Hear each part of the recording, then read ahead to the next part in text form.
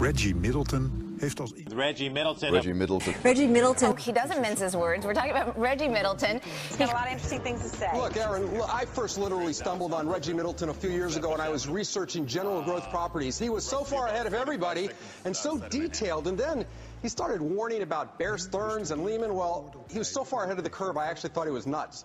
and Reggie Middleton, editor of the Boom Bust blog. And I should note that Reggie put a note out to his clients. I'm not sure the exact price point on Apple, but it was doggone near the top, saying get out of the stock. It was a great call. Hey, Reggie, let's talk tech. Entrepreneurial investor and analyst Reggie Middleton, who nailed Facebook, by the way. It is time to crown the champion, the winner of the first ever CNBC Stocks Draft.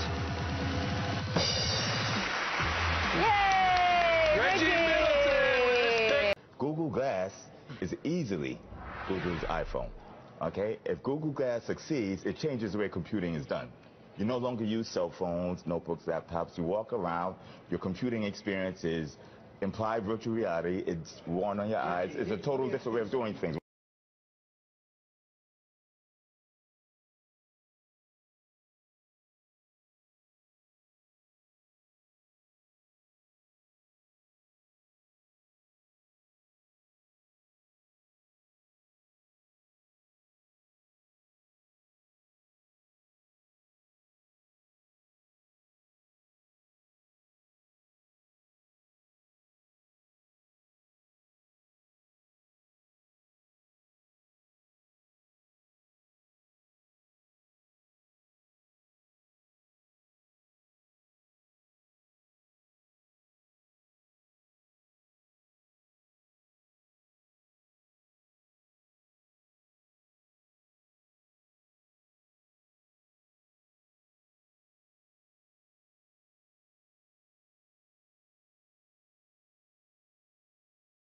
So I'm doing direct laryngoscopy now. Okay. I have a view, Mm-hmm.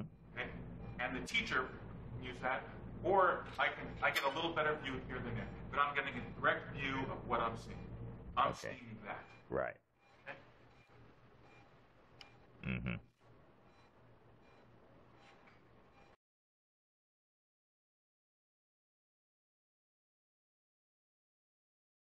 One solution is to have the video feed from this to be available to everybody who wants it. Okay? Right. You can do it for teaching purposes, but, but more importantly, from a supervision point of view, the expert at home Mm-hmm. can supervise what's going on, make sure the drugs are being used properly. Right. At home expert in another part of the building can't get there you know, for whatever reason. Right, right. Can't get to it. Now, if I'm doing it and I'm having trouble, Mm-hmm. I'm wearing the glasses, and you're seeing what I'm doing, you can say, well, pull more this way, pull more that way, pull up, pull out, put pressure here. You, the supervisor can be at home, helping the therapist, the hospitalist, you know, Mhm. adjust to what they're doing. Right. Because the person at home, the expert, doesn't have the time to get into this. Okay. Do- now, what's the difference between this and the other one? More of a, it's a color, more colorful screen, and it uses a different. It's a higher resolution, basically.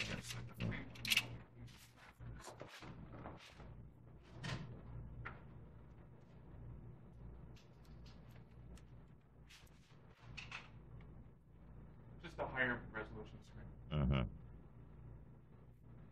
Let me see. It's not that high resolution either. So, yeah, that, that screen is still. Is that what color? I don't remember. It was color. It was just lower. That that's still the sub twenty dollar screen price, and that's uh. Yeah, Seriously? I'll show you. Get them right off of eBay. These screens are 25.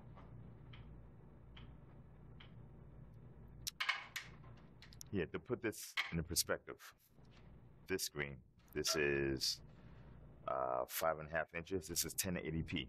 This is a second highest resolution available. The highest resolution is 4000K. Those are $20,000. Okay. This is 1080p. This is the screen that you have, you know, in your home theater. Okay. I think this is about $33 in bulk. So you buy individually, Yeah. charge about 50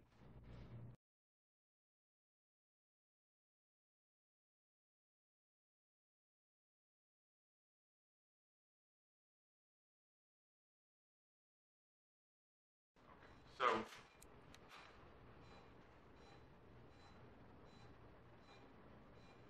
Okay, have a look. You want to show it? Mm-hmm. White, a little circle with white, Yeah, see it. and then just push the tube down with your right hand and watch it go through the hole. No, no, no, no, hold on a second. Push this down straight. Push. Oh, okay. While you're I see. See if it goes in. Push straight down. Go in. Keep pushing. Is it in? Can you see? Yep. I think you're in. There, you're in. There you go. Okay. First intimation.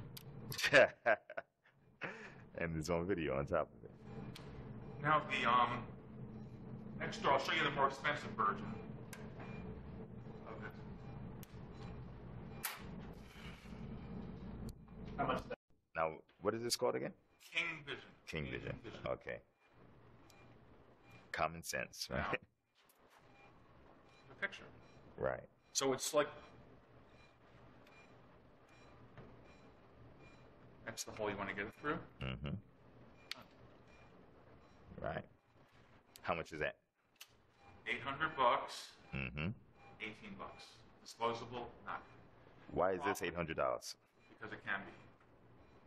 The screen is less than a dollar, Yeah.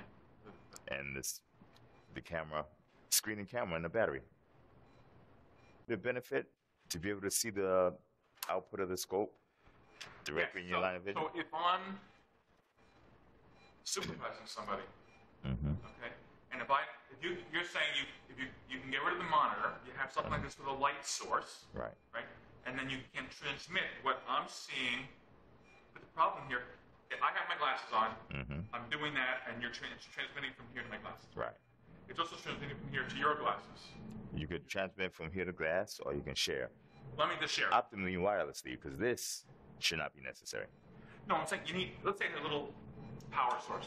Okay. right? Mm-hmm. It's an expensive thing. It's 20 bucks. Right. Usable, okay? Mhm. I go in, I take a look. Now I'm not seeing anything. Remember, this is the indirect look. Right. My glass shows me what I'm seeing at the tip here, what Right. I've seen in the monitor. Right. My glass shares this with you at home, Right. and you make sure I do it the right way. Right. Show me the adjustments to make, Right. right? So Mhm. now you get rid of the monitor, you get rid of the expense, Mm-hmm. right? This is sort of the way you work, that you sort of compare balance sheets with reality? Yes, that's what I do. Not just balance sheet. I, co- I compare reality with the the economic reality with the reality that's reported on paper through companies and through the media, etc. When there's a discrepancy, I attempt to take advantage of the discrepancy, um, and that's the discrepancy on the upside or the downside. Uh, I'm not very emotional. I I dislike it when I listen to the financial media and I hear terms such as you're pessimistic or you're optimistic. If you're pessimistic or optimistic, you'll probably end up being broke very soon. The key is to be realistic.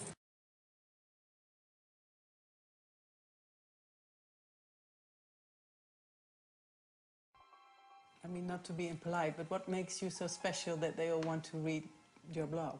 I don't know if special is a word um, to use. I am very objective and I don't have inherent conflict of in- conflicts of interest because I don't have clients that I deal with as a principal or an agent. Um, I can step on toes and be objective, objective and uh, offensively honest.